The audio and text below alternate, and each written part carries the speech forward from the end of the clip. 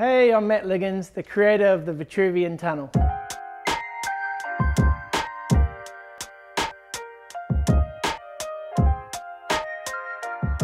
This installation was um, designed for Bright Nights in Auckland. It's based on the Vitruvian Man drawing by Leonardo da Vinci. People can come in, they can get great photos with their friends, and they can put themselves in a bit of architectural history.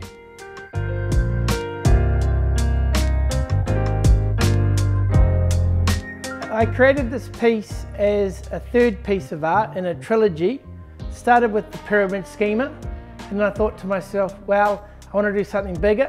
So I did the plastic bag house, and I looked up into the ceiling when we lit it up, and I just saw exactly what you're seeing now, right? Sacred geometry of the, of the reflection of all the lights.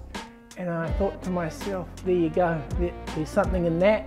I want to experience it. So I thought, if I did the sides on it and I did the floor on it, the light would bend through and you could be inside that space.